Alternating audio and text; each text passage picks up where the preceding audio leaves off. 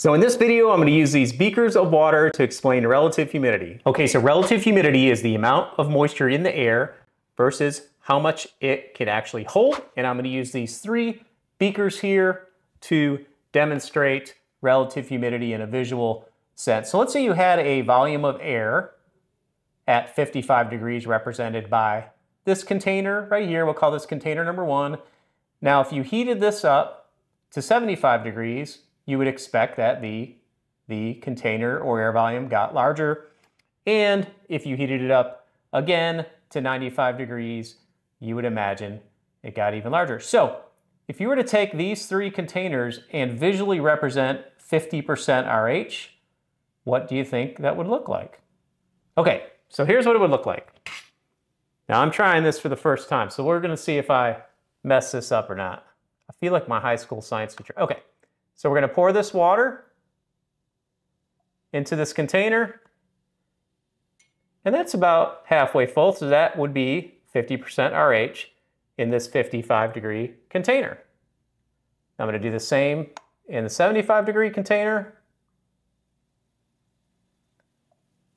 It might be a little high, but we're gonna we're gonna go with that. This is not a scientific, uh, not to scale as they say. So in the 75 degree container, if it was 50% RH, it would look something like that. And in the 95 degree container, let's see, I'm gonna say a little bit higher. Let's see how I did. That's pretty close, okay. All right, so now in these three scenarios, these represent three different air conditions, all of them at 50% relative humidity. So what do you notice What's the big thing you notice about these conditions? Let's take 95 versus 55. Well, they're both technically 50% RH, but look at how much moisture is in the 95 degree bucket.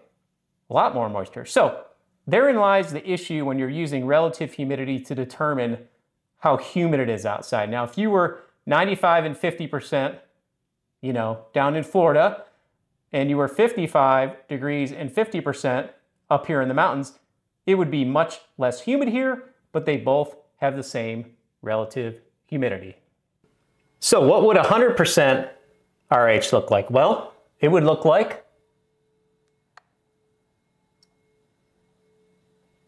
something like that.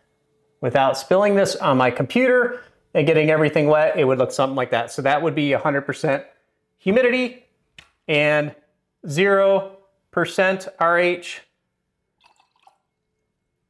minus a few droplets in there would look something like that.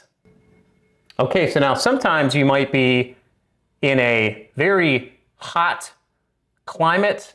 Let's say this condition here, 95, 50% RH, and let's say you're at 75 degrees and 70% RH. I'm gonna simulate that by just, you know, pouring a little bit more water in here.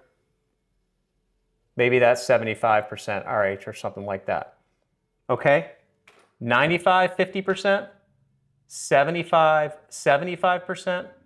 Well, look, at 50% RH, there's still much more volume of water here than there is at 75. Okay, so therein, again, lies the issue with using relative humidity. The RH is higher here, but there's actually more humidity in the air at this condition.